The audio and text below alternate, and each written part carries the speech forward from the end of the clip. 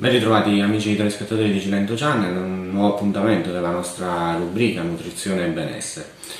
Questa settimana parliamo di un alimento che probabilmente più risulta eh, sconosciuto, ma che mm, ultimamente sempre più si sta affermando anche nella cucina mm, occidentale. Questo perché di fatto è un alimento, un condimento tipico della tradizione invece eh, orientale, in particolare del Giappone.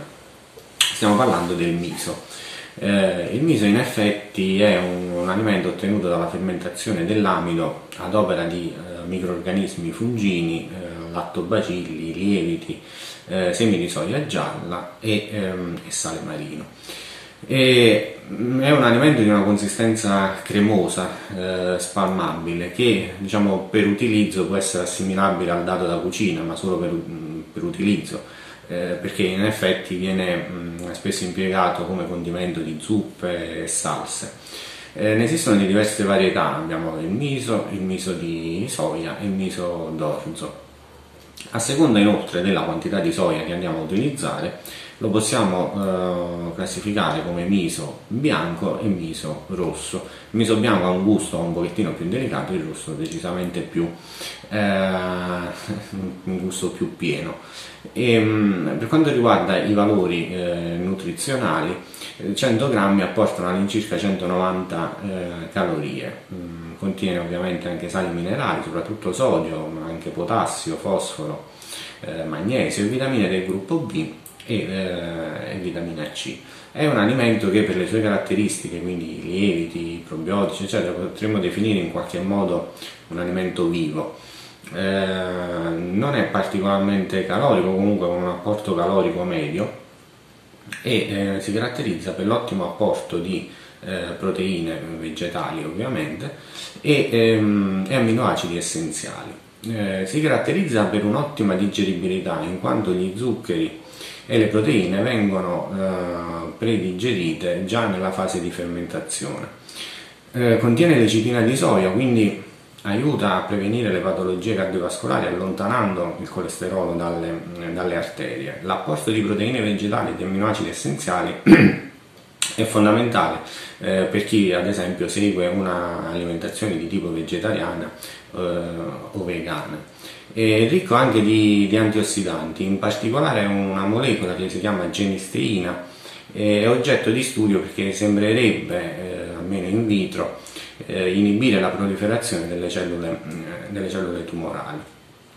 Infine, essendo molto ricco di mm, lattobacilli, quindi probiotici, lieviti, eccetera, ha un ottimo impatto positivo sulla flora batterica eh, intestinale. Ovviamente, come tutti gli alimenti, come abbiamo imparato ormai nelle varie, nelle varie, puntate della nostra rubrica, eh, ci sono anche delle, delle controindicazioni. Per quanto riguarda il miso, queste ultime riguardano soprattutto eh, per chi soffre di ipertensione, in quanto è molto molto ricco di, eh, di sodio.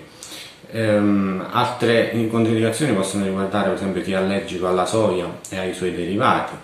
Ehm, è sconsigliato in caso di candidosi perché comunque l'apporto eh, batterico del micro, microbico del, del miso potrebbe eh, dare diciamo, un nuovo stimolo alla, alla candida.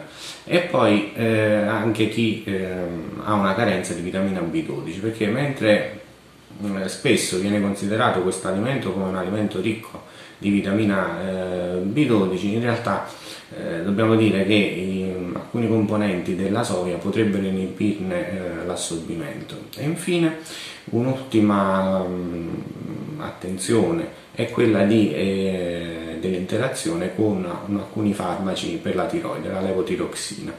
Quindi chi prende questi farmaci è meglio evitare il consumo di questo, eh, di questo alimento, che come detto in cucina diciamo, viene utilizzato soprattutto per quanto riguarda i condimenti e quindi eh, diciamo, il dare sapore, insaporire zuppe o, o salse.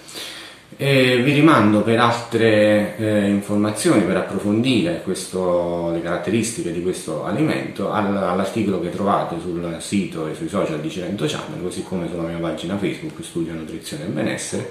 Vi invito come sempre anche a scrivere un'email a nutrizionericci.it per suggerire argomenti o per fare domande sugli argomenti già trattati e vi, ci rivediamo la settimana prossima per un nuovo appuntamento della nostra rubrica Nutrizione e Benessere solo su Cilento Channel.